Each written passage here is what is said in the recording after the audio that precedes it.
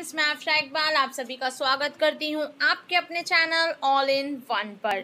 आज के इस वीडियो में हम जानेंगे सॉफ्टली का अपोजिट क्या होता है? सॉफ्टली का अपोजिट क्या होगा? तो आइए देखते हैं।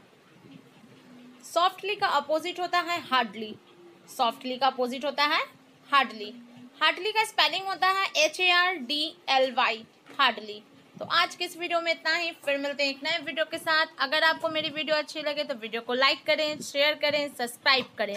Thank you